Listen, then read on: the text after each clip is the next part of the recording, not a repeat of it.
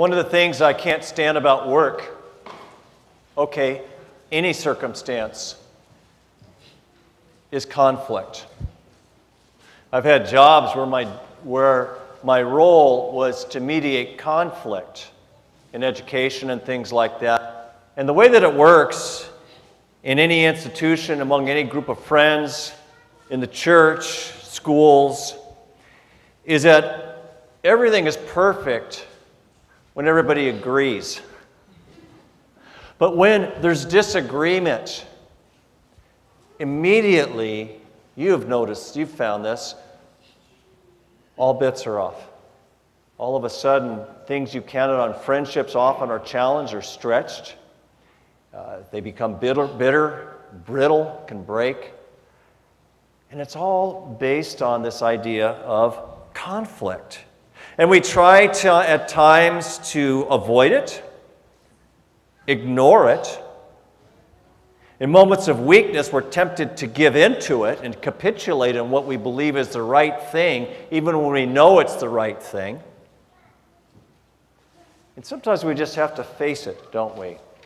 With a good sense of a good headstrong knowledge of what we need to do, regardless of the circumstance or the outcome. We have to make the right choice because that's what we're called to. And you think, well, what about the church? Shouldn't that be the one place where we don't have this conflict? And of course, the answer is yes.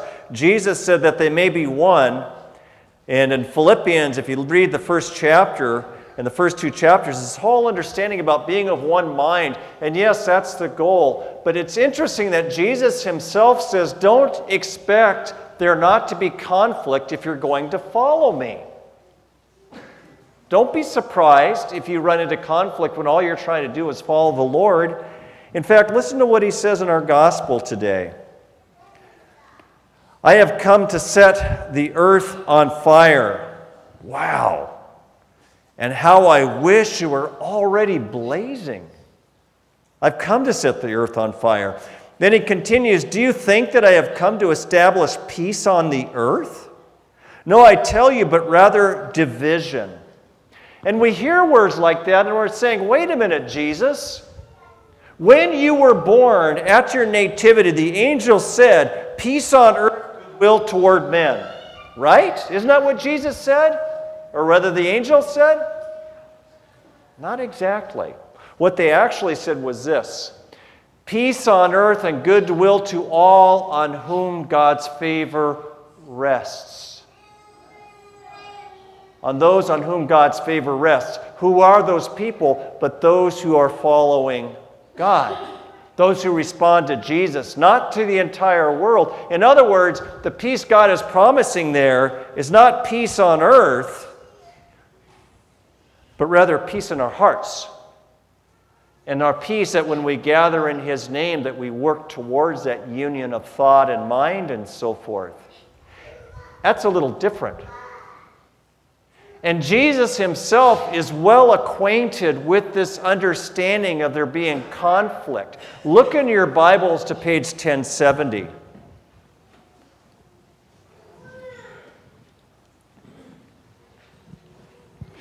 And if you go down to the second column, all the way to the bottom, chapter 7, look at verse 2. Think, well, how does Jesus know all this, besides being the Son of God? Look at verse 2. They're getting ready to go to a, a, a, Feast of Tabernacles, a big Jewish festival in Jerusalem. Jesus and his family, his, uh, his mother Mary, Joseph's probably died by now, but his stepbrothers or cousins, sisters or cousins again. Listen to what it says. But when the Jewish festival of tabernacles was near, Jesus' brothers said to him, Leave Galilee and go to Judea so that your disciples there may see the works you do. No one who wants to become a public figure acts in secret. Since you are doing these things, show yourself to the world. For even his own brothers did not believe in him. Isn't that amazing? The Son of God living in your house, he was just too familiar, and there was conflict even in the family of Jesus Christ. So when you have an epiphany in your faith. Something happens in your life, and you find yourself drawing, drawing closer to God because you say, know, this is real. I need to get closer to Jesus. And all of a sudden, your loved ones or the people around you or your friends do not understand and feel threatened by the fact that you're becoming too religious. Why should you be, why should you be surprised that there's conflict? Because then they feel threatened. All of a sudden, the things that they knew about you and about themselves has changed. And thus we have conflict, stress, difficulty, hardships. And you might ask yourself, well, why is it? Why does Christianity cause such conflict if it's all about love and peace and truth? Loving your neighbor, loving your enemy, praying for those who despitefully use you, trying to do the right thing. Why is there conflict there? Partly because it's human nature. The other thing is this there is an exclusivism to Christianity.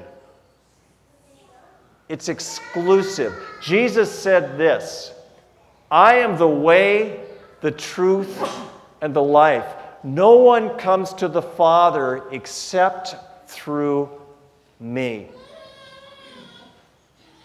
Paul said of Jesus, His is the only name under heaven by which we must be saved.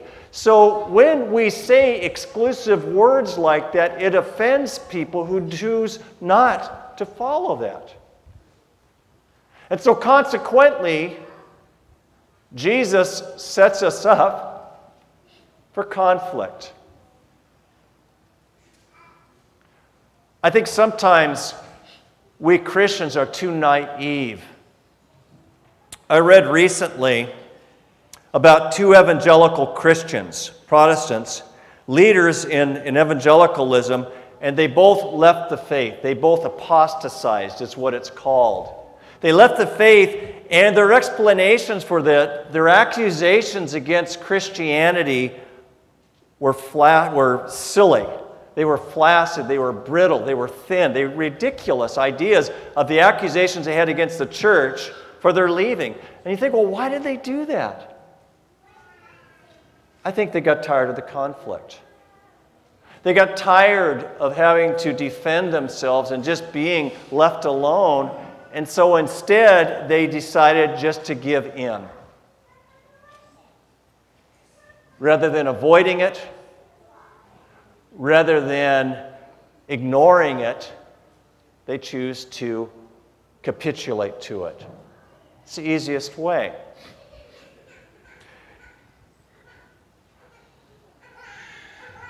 Do you remember the parable of the sower and the seeds? A sower went out to sow, and he spreads his seeds. Some fell on the road, some fell on, this, on the rocky soil, some fell among weeds, and some among good soil. That's a parable Jesus told, and what it means is that God sees, sows his word. And depending on the type of soil it lands, it determines whether or not it's going to bear fruit. And when it says it falls on the rocky soil, what it means there is there's not enough depth there for the roots to take, to take hold and for it to survive, and so it dies. That's conflict. If we don't persevere under conflict, if we just give in or try and avoid or run away from it or whatever, what happens is that we have no roots in which to base our faith. So Jesus says, persevere. Stand up to this because it will come. Do not be surprised. And so we might ask ourselves, well, then what how do we do this? What are we supposed to do instead? This is the fascinating part. If Jesus' words set the world aflame, you know what your job is? Fan the flames. Fan the flames. Because until the whole world is on fire with the Word of God, until that fire is burning within you, until you're almost consumed by the Word of God and by the presence of Christ, there will be no change. If Jesus truly is the answer, then we fan the flames. We don't tell people what they don't want to hear to the point where they just tune us out. If somebody doesn't want to listen, we don't force ourselves on them. But at the same time, we don't change who we are. We identify with Christ. We gather in the name of Jesus, and so we can be nothing but flames of fire as God's Spirit is in us.